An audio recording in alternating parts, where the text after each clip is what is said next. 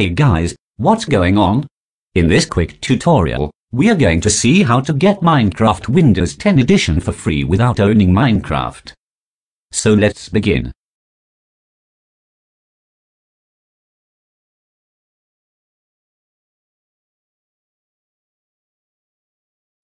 As you can see here, I have just installed the trial of Minecraft Windows 10 Edition. To get the full version for free, follow my steps. Step number 1.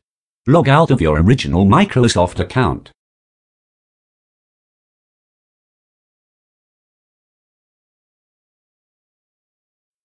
Step number 2.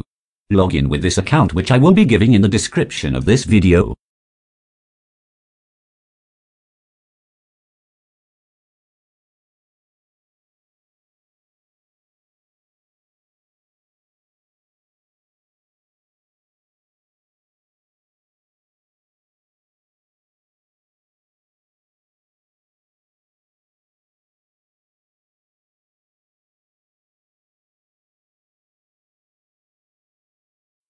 Step number 3. Search for Minecraft and here, as you can see, it is showing the game as owned.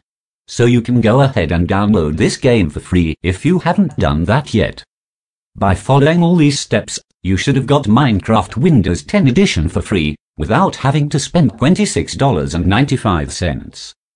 If this method works for you, Leave a like to this video and share it with your friends who want to get Minecraft for free and consider subscribing to my YouTube channel page for more videos.